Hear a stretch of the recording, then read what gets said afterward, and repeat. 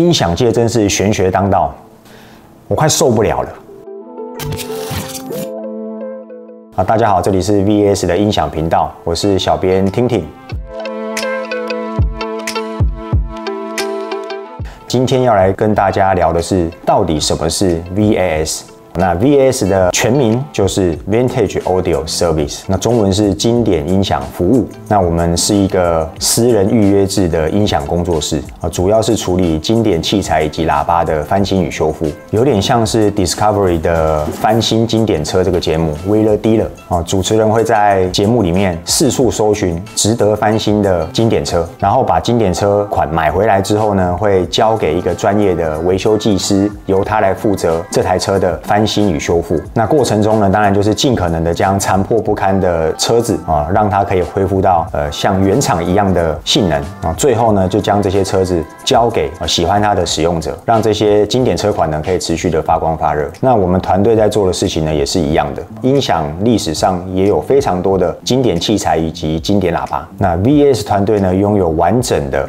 检测喇叭以及扩大机的专业仪器。哦，那我们在整理这些喇叭以及扩大机的过程当中呢，我们都会利用科学化的整芯，使用专业仪器当做验证，将这些经典的喇叭以及器材整个翻新与修复，让他们重现当年的光芒，并交给喜欢他们的使用者。啊。举例来说呢，像喇叭的品牌啊，我们就处理过蛮多的哦，像是呃 JBL 啊、Altec 啊、TAD 啊、塔诺伊啊、Westlake 啊、ATC、Wilson Audio、ProAc。PMC 等等，那像器材的品牌呢，也有像是 Mark Levinson、Griffin、Creo、Macintosh、Acuface、Marantz，还有 Dan D'Agostino 等等。以上这些品牌的喇叭以及扩大机呢，之后我们都会拍影片，一一跟大家介绍到底有哪一些很经典的款式啊，以及它的历史。但是，但是，但是啊，因为很重要，所以要说三次。有个观念要提醒大家，就是千万不要有移情的作用。这什么意思呢？这就是在告诉你说，不是这些品牌的。所有喇叭以及器材都可以买啊，事情没有这么简单。举例来说，宾士的车子每一款都是值得购买的吗？不一定吧。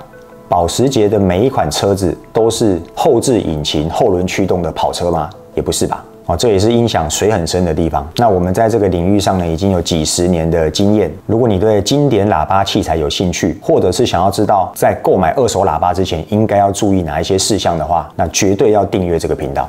因为别人不敢讲的，让我来告诉你啊！我们将会带你从科学的角度去认识音响啊，让你一窥音响到底是个什么样的世界，并且呢，我们也会揭露在这个音响界里面不为人知的秘密以及诈骗。骗术，让你知道水到底有多深。那之所以会想开始拍影片的原因呢，就是因为啊，我自己在音响这条路上呢，呃，跌跌撞撞的遇到的这个牛鬼蛇神真的不计其数啊，自己也花了很多的钱在上面啊，缴了非常多的学费。音响迷有一句心照不宣的话，就是玩音响一定曾经上当过。音响不怕买贵，就怕买错。偏偏呢，这个环境又是让你非常容易买错的啊。那音响也不是刚性需求啊，不像食物啊、手机这样子啊，它不是一个民生必需品。喇叭器材便宜的也要几万块哦，那再来就是十几万哦，几十万，那甚至破百万，甚至像一栋房子一样几千万的都有。那财力有限的音响迷呢，往往可能被骗个一两次啊，他就心灰意冷，就退坑了。甚至到现在还有很多资深的音响迷已经花了几百万在音响上面，但是声音呢还是不知道哪里怪怪的，玩不出成就感。那最后呢，就是整堆昂贵的器材堆在那边啊，连开都不想开。因为呢，只要一打开呢，这个音乐就说不上哪里怪怪的，没有那么好听，但是器材却又是好几百万，好，所以基于以上的经验呢，希望能够透过影片的方式来分享给大家。只要你是刚开始玩音响，或是对音响有憧憬的，想要在这条路上少走一点冤枉路的，那一定要订阅这个频道。现在网络资讯爆炸。好处呢是公开透明哦，你想查什么都可以查得到。那坏处就是有一大堆似是而非的错误的知识都在网络上流传，而且偏偏这些知识又是占绝大部分的，尤其是这个音响界。很多人没有买过，很多人没有用过，很多人甚至没有看过，他就可以靠网络上的文章哦，跟他自己的想象，还有朋友的转述，发表一篇心得，然后在网络上讲的天花乱坠，甚至有的去建议那些音响新手该怎么购买，该怎么玩音响哦，这些都是非常恐怖的事情哦。如果你跟着这些人的话，哦，那保证你这个音响路上呢，会器材永远换不停。在此有几段名言录哦，跟大家分享一下。如果你在玩音响的路上呢，能把这几句话融会。贯通的话，那我相信你会少走很多的冤枉路。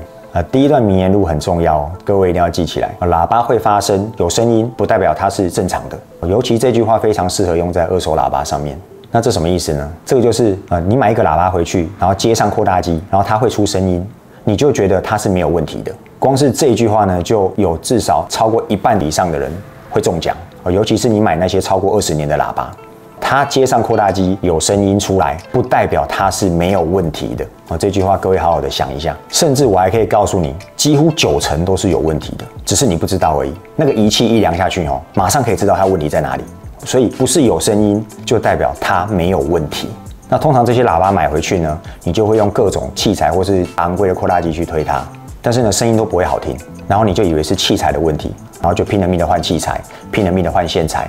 然后换到最后呢，你还是不会觉得它很好听。那最后你就下一个结论，就是这个喇叭很难推，或是这个喇叭本身就不好听。但是其实事实上并不是这样子，事实上是这个喇叭本身就有问题。所以呢，你用什么扩大机去推它，它都会不好听。但是你却误杀了这颗喇叭。那这个实际上到底是什么情况呢？就之后再拍影片跟大家分享。那第二个名言录就是改变不等于改善。哦，那第三个就是好听不等于正确，第四个是你的好不等于是我的好，那以上这些都是我们玩音响多年来的心得。之后还会有更多的名言录跟大家分享。好，那以上讲了这么多呢，其实就是在告诉大家说，其实二手音响这个领域呢是有很多地方要注意的。那如果你对二手音响有兴趣哦，对这些经典喇叭有兴趣的话哦，请务必要关注我们频道。那如果你对我们工作室日常有兴趣的朋友，也可以追踪我们的 FB 啊。那最后就是，如果你有音响相关的问题呢，都欢迎你留言告诉我。那有空的话，我会尽量回复。那如果这个问题是非常重要的，那我也会。会拍影片跟大家分享啊。那如果你有相关的受骗经验呢，也欢迎下方留言，让更多的音响迷知道你是怎么受骗的啊。也许大家都有相同的经验。那我们今天就跟大家聊到这边。那我是小编听听，我们下部影片见，拜拜。